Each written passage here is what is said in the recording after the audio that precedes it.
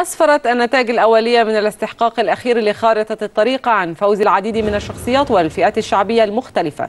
كما أظهرت المؤشرات الأولية عن خروج شخصيات عامة ونجوم برلمانية سابقة ودخول عدد من الشباب المستقل بالإضافة لقوائم وأحزاب كان لها نصيب الأسد في الانتخابات. على رأسها قائمة في حب مصر وحزب المصريين الأحرار وحزب مستقبل الوطن الذي يعد حديث الساحة السياسية.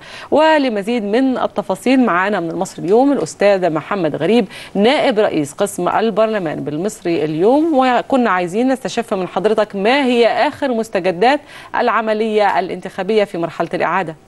كشفت المؤشرات الأولية لنتيجة جولة الإعادة في المرحلة الثانية في 13 محافظة عن تقدم الأحزاب في عدد المقاعد. فجاء حزب المصريين الأحرار حاصلا على 65 مقعد يليه حزب مستقبل الوطن حوالي 50 ثم حزب الوفد 24 مقعد.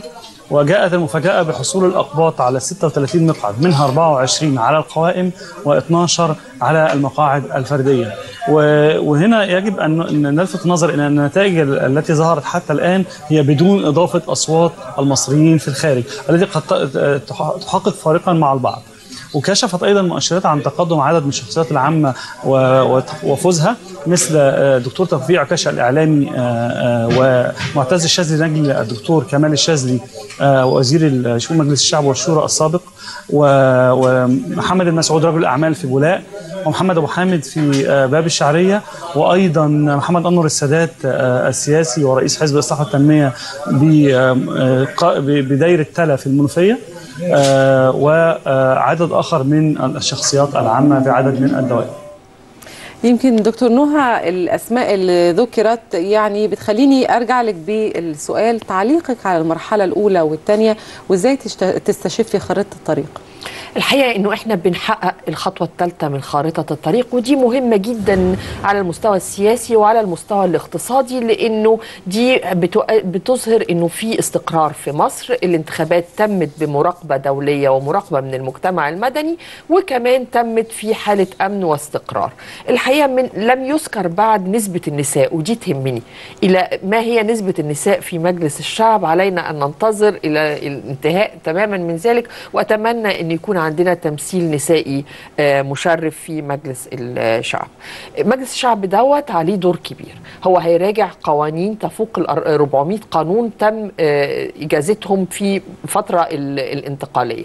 الحقيقة كمان هو هي هيسن قوانين جديدة وده مهم وهيخص بيها قوانين الاستثمار في قوانين مختلفة زي قانون الجمعيات الأهلية في أشياء كتير منتظرة المجلس دوت.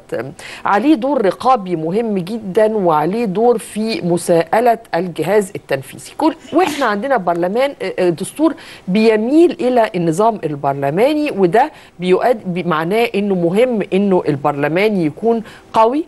هنشوف إنه البرلمان في أول كام شهر من المتوقع إنه التكتلات إلى أن تتشكل التكتلات ويتم فيه يعني قدرة على التواصل والوصول إلى يعني قدرة على العمل. بتمنى إني أشوف تدريب للبرلمانيين قبل ما يقعدوا على كرسي البرلمان. ده مهم جدا عشان يقدروا يتحاوروا ويقدروا يوصلوا إلى ما هو صالح لمصر. بتمنى إني أشوف للبرلمانيين كمان قدرة إن هم يستعملوا مساعدين زي ما في في دول تانية بحيث إن هم يقدروا يلموا بالمواضيع المختلفة لأنه ما فيش فرد واحد يقدر يلم بيها فأتمنى إني أشوف برلمان قوي يقدر ياخد مصر لخطوات جديدة. أكيد إن شاء الله.